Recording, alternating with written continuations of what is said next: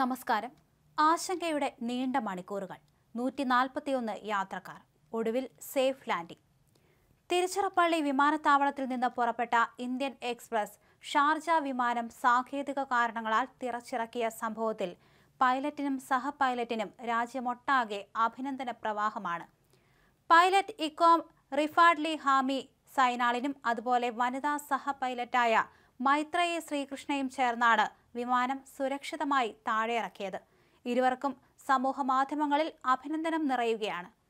മണിക്കൂറുകൾ നീണ്ടുനിന്ന ആശങ്കകൾക്കൊടുവിലാണ് ഷാർജ വിമാനം നിലത്തിറക്കിയത്.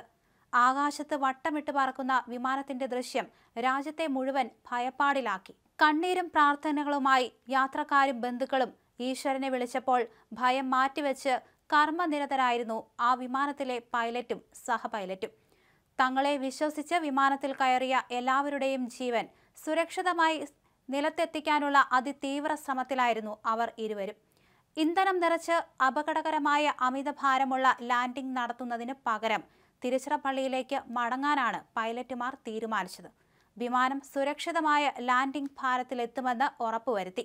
അധിക ഇന്ധനം കത്തിക്കാൻ ഹോൾഡിംഗ് പാറ്റേണിൽ അവർ പ്രദേശം ചുറ്റി. ലാൻഡിംഗ് ഗിയർ സ്വമേധയാ താഴ്ത്തി ആദ്യ ശ്രമത്തിൽ ലോക്ക് ചെയ്തു. Tiruchirappalli Sharjah Air India Express വിമാനം പറന്നുയർന്ന ഉടനെ തന്നെ സാങ്കേതിക തകരാർ പൈലറ്റിന്റെ ശ്രദ്ധയിൽപ്പെടുകയായിരുന്നു. നിറയെ ഇന്ധനമുള്ളതിനാൽ ലാൻഡ് ചെയ്യാനും യാത്ര തുടരാനും സാധിക്കാത്ത അവസ്ഥയിലായി. വിമാനത്തിലെ ഇന്ധനം കത്തിത്തീർക്കുക എന്നതായിരുന്നു പിന്നീട് മുൻപിലുള്ള ഏക മാർഗം ഇതിനു വേണ്ടിയാണ് ആകാശത്ത് രണ്ടര മണിക്കൂറോളം വട്ടമിട്ട് പറന്നത്.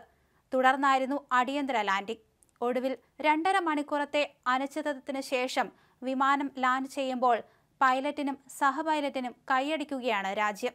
ഇരുവരെയും അഭിനന്ദന പ്രവാഹം കൊണ്ട് മൂടുകയാണ് സോഷ്യൽ മീഡിയയിൽ കനത്ത സമ്മർദ്ദങ്ങൾക്കും ഭീതിക്കും നടുവിലും കുഞ്ഞുങ്ങളടക്കം നൂറ്റി നാൽപ്പത്തിയൊന്ന് പേരുടെ ജീവൻ കയ്യിൽ പിടിച്ചാണ്. ഇഗ്രോ റിഫാദ് അലിയും വനിതാ സഹപൈലറ്റായ മൈത്രേയ ശ്രീകൃഷ്ണയും ചേർന്ന് വിമാനം സുരക്ഷിതമായി താഴെയിറക്കിയത്. ഇവർ ഇന്ധനം കത്തിച്ചു കളഞ്ഞ ആ ഒരു സമയത്ത് തന്നെ താഴെ അടിയന്തര സാഹചര്യം കണക്കിലെടുത്ത് ആംബുലൻസുകളും അതുപോലെ തന്നെ എല്ലാ തയ്യാറെടുപ്പുകളും പൂർത്തിയായിരുന്നു. പക്ഷേ ഇതൊന്നും വേണ്ടി വന്നില്ല. കാരണം പൈലറ്റുമാരുടെ അനുഭവ സമ്പത്ത് രക്ഷയായി മാറുകയായിരുന്നു. അതേ സമ്മർദ്ദത്തെ ഉത്തരവാദിത്ത ബോധവും അനുഭവ സമ്പത്തും കൊണ്ട് നേരിടുകയായിരുന്നു ഇരുവരും. വിമാനം സുരക്ഷിതമായി ലാൻഡ് ചെയ്യാൻ സാധിച്ചതിൽ സന്തോഷമെന്ന് തമിഴ്നാട് മുഖ്യമന്ത്രി എം കെ സ്റ്റാലിൻ പറഞ്ഞു. പൈലറ്റുമാരെയും ക്യാബിൻ ക്രൂവിനെയും തമിഴ്നാട് മുഖ്യമന്ത്രി എക്സിലൂടെ അഭിനന്ദിച്ചു.